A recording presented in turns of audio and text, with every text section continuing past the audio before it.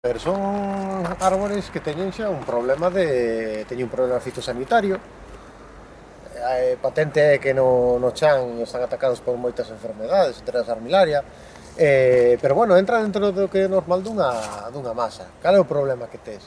As podas que has eh, levado a este tipo de arbolado... Sí, para arriba é para facer viabilidade, para que haxe viabilidade para andar por debaixo os camións. Cando se fan as festas, entonces forzas o árbol a podar, a, a que rebrote na parte aérea. Claro, o problema.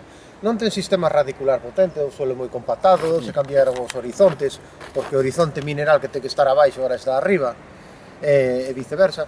entonces claro, o problema. Eh, forzas o árbol a, a un estrés que, que é difícil de soportar a esta edad, e logo ainda por o problema que ten, e que hai cantidad de, de escolítidos e de insectos que se alimentan da madeira e que provocan uns daños o que son moi importantes o que no, no tejido do sostén do árbol. Se eso lle sumas o efecto vela, que podalos por abaixo, subirlle o centro de gravedad, o árbol, eh, unha vez que este un pouco dañado, e logo ainda por riba que teña moita vela non fai falta tampouco un temporal simplemente no momento que vai perdendo digamos a madeira as propiedades mecánicas que fan que, que o árbol aguante automáticamente te, te veñen para baixo o problema? A solución de, de estar volado xa te está dicindo, está en, en estado precario. E ir talando os ejemplares mortos e secos, ir baixando as copas, non tocar o que son as partes baixas, por exemplo, estas copas de aquí, volvelos a formar, facendo podas a... Sí, non volver a refaldalos, un árbol que está retoñando polos cortes que lle faz, estás, eh, te estás indicando que xa lle estás quitando demasiada demasiada brotación, demasiado volumen foliar que lle fai falta e o que fai o árbol é intentar recuperar ese equilibrio que ti lle, lle, lle anches. Entonces, que solución ten que sacar da llera? Primeiro é airear e descompactar o terreno. Botarlle unha boa capa de materia orgánica que vai facer que manteña a humedade, o que o chan, volver de novo ao que é o proceso natural de humificación e mineralización da materia orgánica e logo ainda por riba reducir o, o que son as copas. E logo unha cousa que aquí se ha feito é deixar eh, árboles con problemas de, de enfermedades e madeira morta aquí e favorecer que haxa a cantidad de insectos eh, que van a atacar os árboles sans como os árboles vellos. Entonces, os árboles que están caendo agora aquí eh, non é máis ni menos que fruto de fruto dun, dun trato inadecuado á carballera. Dun exceso de, de insectos ou de orugas, non? No, vamos a ver, aquí hai a un carballo fetalle dúas enfermedades que son realmente comprometidas. Unha que é o que lle chama desoidio do carballo, que o que vai facer fai unha pelusilla, sobre todo no gran, depende dunhas condicións meteorolóxicas, o que, o que impide é que o árbol teña actividade fotosintética. Mm. Impide que a planta sea capaz de sintetizar eh, alimentos de, de, de facer a fotosíntesis dun, dun modo natural e o problema é que o árbol se vai pouco a pouco debilitando porque realmente se alimenta polas follas. No momento que perda follas, perde capacidade para alimentar.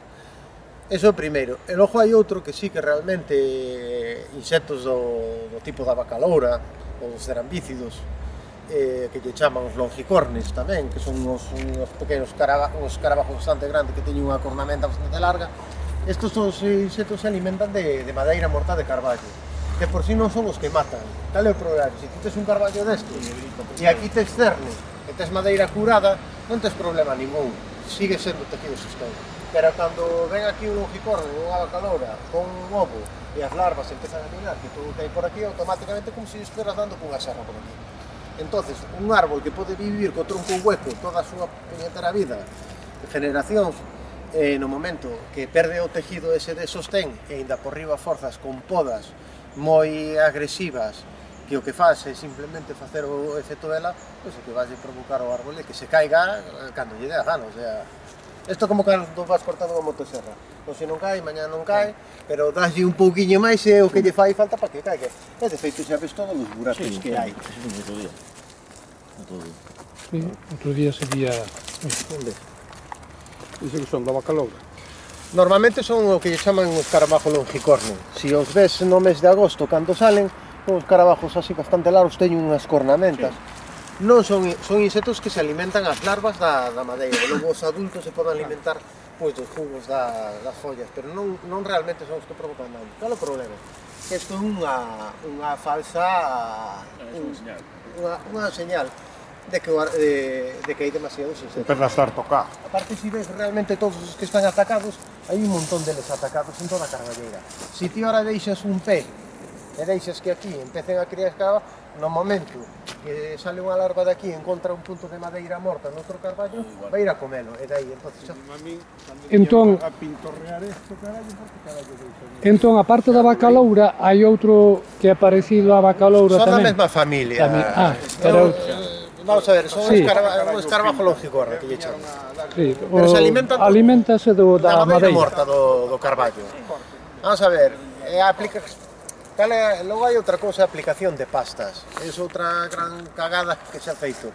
As pastas cicatrizantes, sobre todo en base pintura, en base pintura, en base densa, teñen un inconveniente grandísimo, que cando tío da sobre madeira viva teñen unha función porque evita o resecamento do camión, fai que se forme o labio de cicatrización, fai que cerra feridas, estupendo.